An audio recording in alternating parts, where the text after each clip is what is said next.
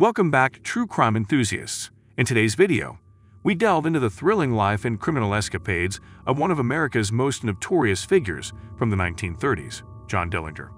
Known for his audacious bank robberies, daring escapes, and the title of Public Enemy Number 1, Dillinger captivated the nation's attention and became a legendary figure in the criminal underworld. Join me as we uncover the captivating story of John Dillinger and explore the lasting impact he left on American history. Let's jump right in. John Dillinger was born on June 22, 1903 in Indianapolis, Indiana. He came from a modest background, raised in a working-class family. His father, John Wilson Dillinger, was a grocer, while his mother, Mary Ellen Mollie Lancaster, took care of the household. Dillinger had one sister, Audrey, and a stepbrother, Hubert. Growing up, he was an average student, but he exhibited a rebellious streak and a disdain for authority. While some have speculated about the impact of Dillinger's troubled family life on his criminal career, there is no definitive evidence to support this claim. Nevertheless, it is important to note that Dillinger's upbringing occurred during a tumultuous period in American history, marked by the Prohibition era, economic hardship, and a fascination with gangsters portrayed in popular culture. Dillinger's entry into the world of crime was gradual. As a teenager, he began engaging in petty theft and other minor offenses. At the age of 21, Dillinger enlisted in the United States Navy, but his military career was short-lived. After only nine months of service, he was dishonorably discharged for repeatedly going AWOL. With limited employment prospects and a taste for adventure, Dillinger turned to more lucrative and illicit activities. He associated with local criminals and became involved in bootlegging operations during the Prohibition era. Dillinger's criminal activities escalated from stealing cars and robbing small businesses to more daring heists, primarily focusing on banks. Dillinger's charisma and leadership skills soon attracted like-minded individuals, and he formed a gang that would later become infamous as the Dillinger Gang. The gang consisted of trusted associates such as Harry Pierpont, Charles Makley, and Homer Van Meter among others. Each member brought their unique skills to the table, making the gang a formidable force in the criminal underworld. Under Dillinger's guidance, the gang primarily targeted banks, employing meticulous planning and swift execution to carry out their daring robberies. Their audacity and success quickly earned them notoriety and catapulted Dillinger into the realm of legendary American outlaws.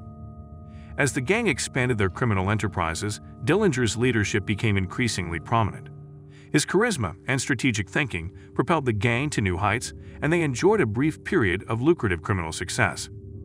One of the most infamous incidents in Dillinger's criminal career was the daring robbery of the First National Bank in the small town of New Carlisle, Ohio.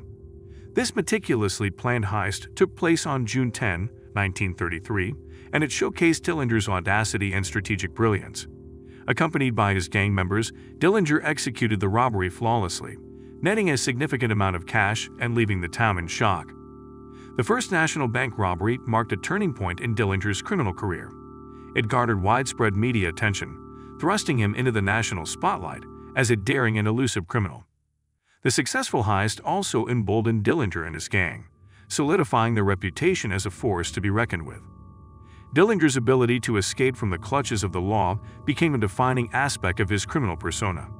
He repeatedly outwitted prison officials and eluded capture, creating a sense of awe and frustration among both law enforcement and the public. Throughout his criminal career, Dillinger staged several audacious prison escapes. Whether it was through subterfuge, bribing guards, or overpowering his captors, Dillinger's cunning and resourcefulness allowed him to regain his freedom time and time again.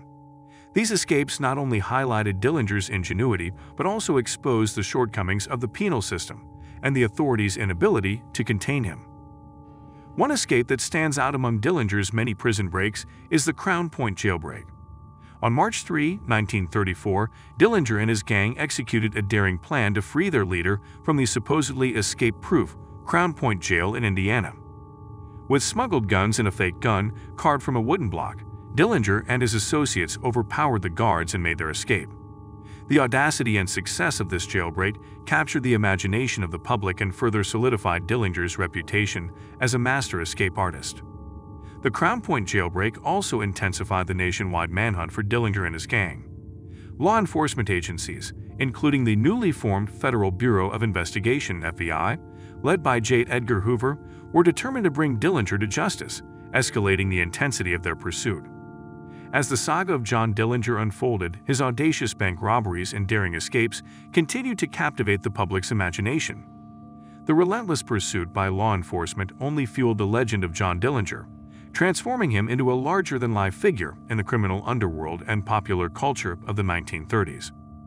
As John Dillinger's criminal career reached its peak, he attained the notorious title of public enemy number one.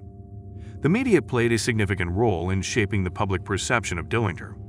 Journalists and tabloids sensationalized his crimes, transforming him into a captivating anti-hero figure. The construction of the Dillinger mythos created an aura of invincibility and daring around him, amplifying his legend and captivating the public's imagination.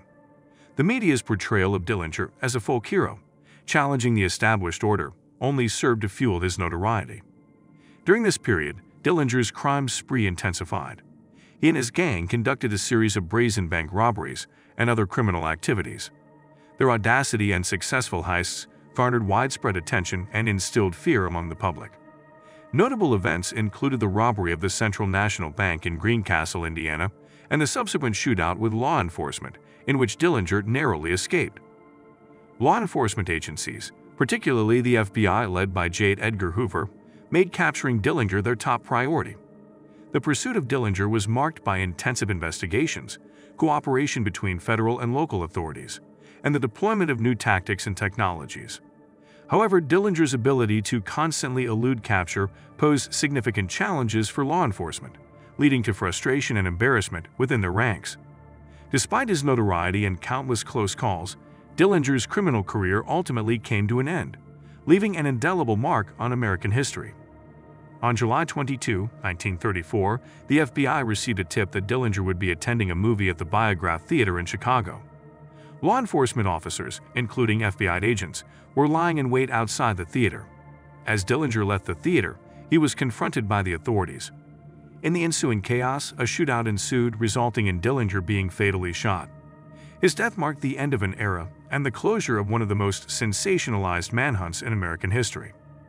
John Dillinger's life and criminal exploits during the 1930s left an indelible mark on American history and popular culture. From his early life and entry into crime to his rise as public enemy number one, Dillinger's audacity and ability to elude capture fascinated the public and frustrated law enforcement.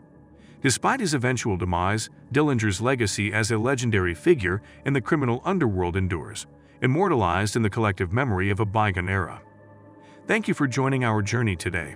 If you enjoyed our video, don't forget to click like and subscribe. Until next time, and stay safe.